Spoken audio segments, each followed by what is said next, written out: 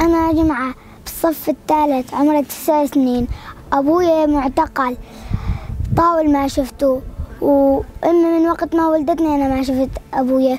وهلأ قين وأمي كمان آه، غرقت هي بطريقة على أوروبا.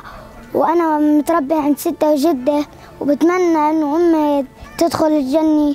بتمنى إنه أبويا يطلع شوفه. بتمنى إنه يكفي دراستي للأخير. إحنا جماعة مهجرين من جنوب المرة جئنا على هالبلاد هاي.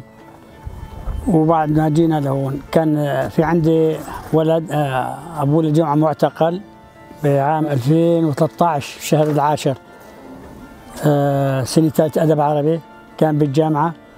عند عودته إلى المنزل أخذوه آه، السلطة السلطة بشار الأسد. بعد فترة كمان نص شهر ابن الثاني مع أبي يدرس ثاني سنة حقوق كمان ألغوا القبض عليه وأخذوه علما أنه ما حولهم شيء. جينا لهنا على البلاد. هذا بالنسبة للجماعة ربيناه عنا يعني تربية الحمد لله حسني وما بيعرف لا أمه ولا أبوه.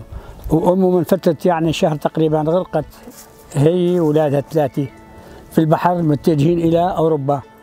آه وبالنسبة إلى هذا الولد الثاني اللي بقول فاروق كمان استشهد الله يرحمه وكمان من ربي عندنا هلقين في الدار.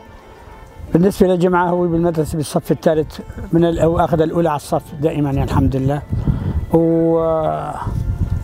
ونحمد الله وبنشكره وبنعاني ترى من الصعوبات كثير في المخيمات ساكنين بم- بمخيمات. بالنسبة للجماعة يعني يعني إيش ذنبه بهالع- ه- هالشيء صار عليه يعني مثلا؟